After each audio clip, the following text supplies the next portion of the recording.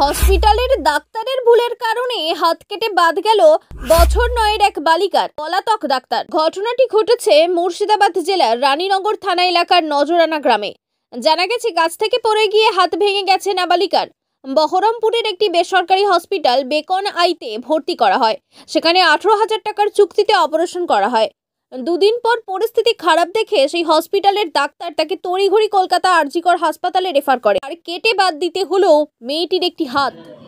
অপারেশনের মাত্র দুদিন পরেই কীভাবে ঘটলো এই ধরনের ঘটনা? কার গাফিলতির কারণে এমন সর্বনাশ হলো আমাদের মেয়ের? প্রশ্ন তুলছে রোগীর পরিবার। পরিবারের দাবি, ডাক্তারের অপারেশন ভুল ছিল, তাই অকালে আমাদের মেয়েটির হাত নষ্ট হলো, যার জন্য সম্পূর্ণভাবে ডাক্তার দায়ী। আমরা ডাক্তার এবং বেকন আই হসপিটালের বিরুদ্ধে মামলা করব যাতে এই ধরনের ঘটনা ভবিষ্যতে আর না ঘটে।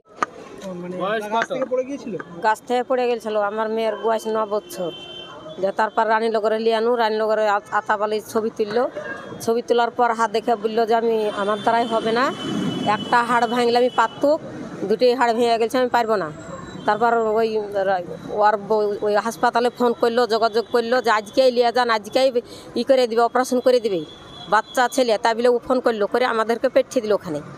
দিয়ে আমরা সে খোঁজে খোঁজে যে উঠলাম, দিয়ে দিয়ে গত অপারেশন করল তারপর দিন আবার দেখছি আমার মেয়ের হাত ফুলিয়া তাবৎ চারিদিক কালো হয়ে যাচ্ছে লোক টোক সব কালো হয়ে যাচ্ছে।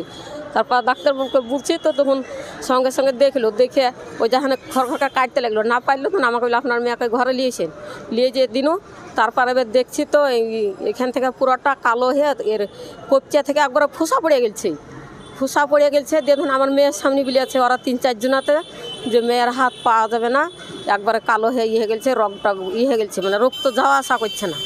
আমার মেয়ে এসে আমাকে বুঝলো আবার কাকাকেও বুঝলো আবার ওরা তিন চারজনাতে ইয়াই গাহাচ্ছে।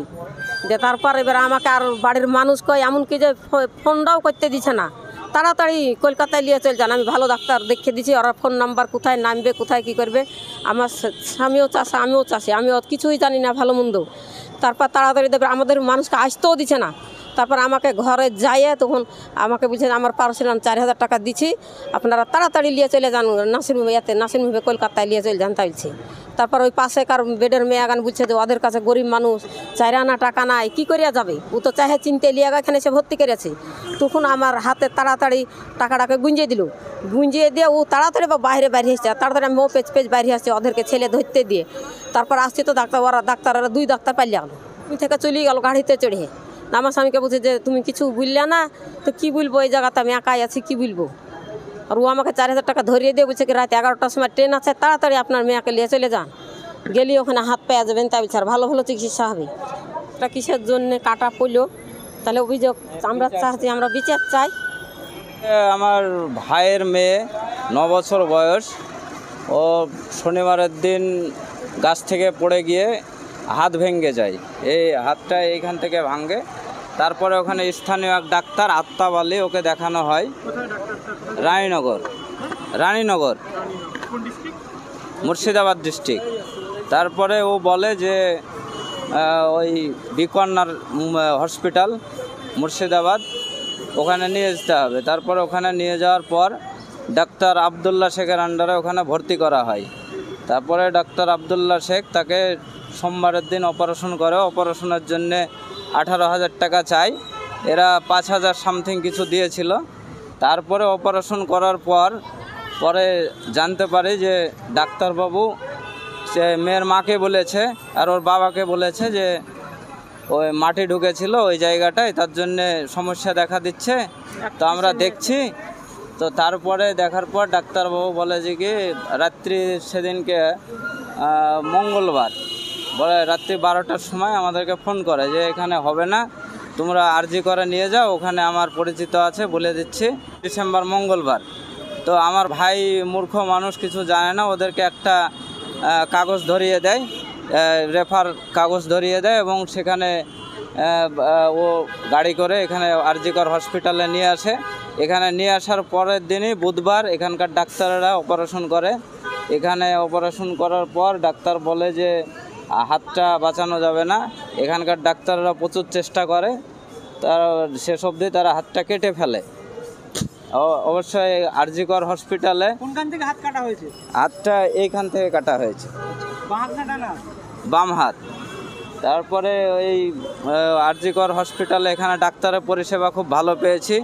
এবং আমাদের পশ্চিমবাংলার মুখ্যমন্ত্রী মমতা বন্দ্যোপাধ্যায়কে তার জন্য ধন্যবাদ। আরও একটা কথা জানাচ্ছি মুখ্যমন্ত্রীর কাছে তারা যেন আমাদের জন্য হাতটা কিসের জন্য কাটা হলো সামান্য হাত ভাঙ্গার ব্যাপারে এরকম তো অনেকেই দেখেছি কই কোথাও হাত কাটা হয় না কিসের জন্য কাটা হলো? হ্যাঁ ওখানে এখনও এফআইআর করিনি তবে আমি পদক্ষেপ নেব।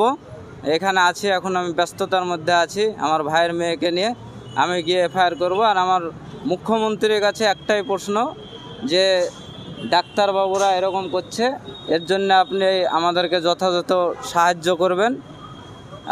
অবশ্যই পুরো- হসপিটালে পরিষেবা খুব ভালো ঠিক আছে? আর এর জন্য আমাদের মুখ্যমন্ত্রী মমতা বন্দ্যোপাধ্যায়ের কাছে আমাদের অসংখ্য কৃতজ্ঞ থাকবে। পর বিকন হসপিটাল। হ্যাঁ আচ্ছা ওটা ডাক্তার আবদুল্লা শেখের আন্ডারে ভর্তি করা হয়েছিল। ছেলে না বছর বয়স। সরকারের কাছে চাইছি যে এরকম ডাক্তারের বিরুদ্ধে সরকার অবশ্যই ব্যবস্থা নেবে সেটাই আমি চাইছি।